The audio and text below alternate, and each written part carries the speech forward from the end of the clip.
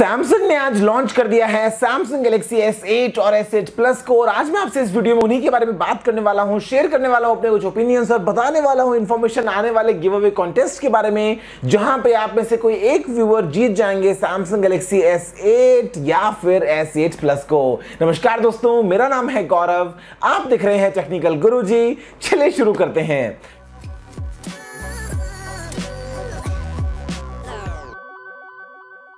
दोस्तों, यहाँ पे सैमसंग गैलेक्सी S8 के बारे में जो इन्फॉर्मेशन थी, वो बाहर थी पिछले बहुत दिनों से, बहुत महीनों से। हमको ऑलमोस्ट मालूम था कि फ़ोन दिखने में कैसा है, क्या होने वाला है, लेकिन यहाँ पे सैमसंग ने अपना पर्दा हटा दिया है और बता दिया है हमें कि क्या होने वाले हैं सैमसंग गैलेक्सी S8 और S8 प्लस यहाँ पे दोस्तों, आपको मिलता है दोनों ही फ़ोन डिस्प्ले है, वो है एक 2960 इंटू फोर्टीन का रेजोल्यूशन स्क्रीन ये ना तो 2K है नहीं तो 4K है, कहीं ना कहीं बीच में आता है। यहाँ पर दोस्तों आपको मिलता है 18.5 इस का डिस्प्ले एस्पेक्ट रेशियो जो स्क्रीन साइज़ है वो है गैलेक्सी S8 में 5.8 इंचेस का और S8 प्लस में 6.2 इंचेस का।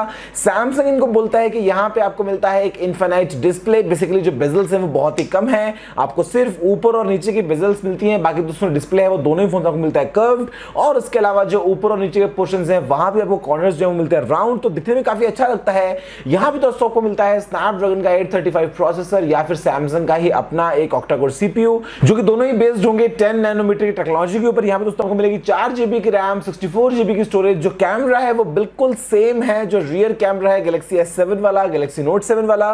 जो फ्रंट कैमरा है, यहाँ पे आपको मिलता है एक 8 मेगापिक्सल का सेंसर जो एपर्चर है, वो है एफ़ 1.7 का। रियर कैमरा में आपको ऑलरेडी मिल जाता है एफ़ 1.7 का एपर्चर और जो बैटरी है सबसे ज़रूरी सैमसंग नोट 7 के बाद में सैमसंग गैलेक्सी S8 की बैटरी वो दोस्तों S8 में है 3000 हज़ार एम एच की S8 प्लस में है 3500 mAh की। आपको सभी तरह के सारे सेंसर्स मिल जाते हैं। बैटरी में आपको फास्ट चार्जिंग भी मिलती है, यहाँ पे वायरलेस चार्जिंग भी मिलती है। और दोस्तों, इसके अलावा आपको मिलता है सैमसंग का बिक्स बी जो कि है एक AI बेस्ड सिस्टम इसके लिए आपको एक बटन मिलता है, जिसके बाद में उसको रिकॉल करने के बाद में जो चाहे वो काम कर सकते हैं। हालाँकि वो कितना अच्छा है, वो देखना होगा फ़ोन को यूज़ करने के बाद में, लेकिन कुछ एड ऑन है। अगर आप यूज़ करना चाहते हैं गूगल असिस्टेंट के अलावा कुछ और चीज़ तो वो आप कर पाएँगे सैमसंग बिग्सबी के रूप में। और यही दोस्तों, सारा एक कंबाइंड पैकेज आपको मिलता है गैलेक्सी एस की फॉर्म में। यहाँ पे आपको फिंगरप्रिंट स्कैनर भी मिलता है आयरिस स्कैनर भी मिलता है। बेसिकली सैमसंग का जो नोट सेवन था, वही ये सेम फ़ोन है। आपको सिर्फ़ यहाँ पे डिज़ाइन में कुछ इंप्रूवमेंट्स मिलते हैं। और उसके अलावा जो कैमराज हैं, जो फ्रंट कैमरा वगैरह है, उसको इंप्रूव किया गया है। और आपको बता दिया है मिलके कि भैया, ये है एस एट हमने काफ़ी अच्छी कोशिश करके इसको बनाया है और मुझे काफ़ी पर्सनली भरोसा है कि ऐसे एक काफ़ी कमाल का फ़ोन होगा। और इसलिए दोस्तों, मैं उसको लेने वाला हूँ, जैसे ही वो होता है अवेलेबल जो डेट है, वो है 21 अप्रैल की। अब देखते हैं कि दुबई में कब मिलता है। दुबई के लिए प्री ऑर्डर कब सामने आते हैं। और मैं आपको बता दूँ कि अगर आप वेट कर रहे हैं सैमसंग गलेक्सी एस के लिए तो आपके लिए एक स्पेशल गिव अवे कॉन्टेस्ट भी है।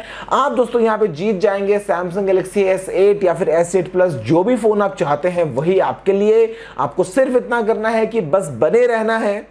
चैनल को अगर आपने सब्सक्राइब नहीं किया तो सब्सक्राइब कर लीजिए और बस आप थोड़ी देर के लिए वेट कीजिए। जैसे ही मैं बनाने वाला हूँ अनबॉक्सिंग वीडियो आपको बता दूँगा कि क्या रूल्स हैं गिव अवे कॉन्टेस्ट के और कैसे आप में से कोई एक व्यूअर जीत जाएँगे उस स्मार्टफ़ोन को, जो कि मुझे लगता है काफ़ी अच्छा एक फ़ोन होने वाला है। मेरा ये जो करंटली अभी आईफोन सेवन प्लस है, मैं इसको चेंज करने वाला हूँ और मैं लेने वाला हूँ सैमसंग गैलेक्सी एस क्योंकि नोट सेवन नहीं ले पाया था और सैमसंग ने बड़ी मेहनत की थी, लेकिन वो हम तक पहुँच नहीं पाया। उम्मीद करते हैं कि सैमसंग गलेक्सी एस एक काफ़ी कमाल का फ़ोन होने वाला है। हालाँकि रिवोल्यूशनरी तो नहीं, लेकिन एटलीस्ट एक इवोल्यूशनरी फ़ोन होगा जहाँ पे आपको काफ़ी सारे नए ऑप्शंस देखने को मिल जाएँगे।